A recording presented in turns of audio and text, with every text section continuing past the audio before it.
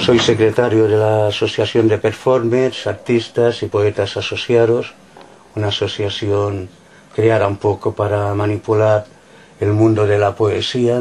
Queremos hacerle la competencia a las instituciones públicas, a las instituciones económicas, a los críticos y creemos que los poetas hemos de decidir lo que es la poesía. Sucia y rota, te vi en una medalla chapado en oro, en los pechos de una prostituta de rojos labios.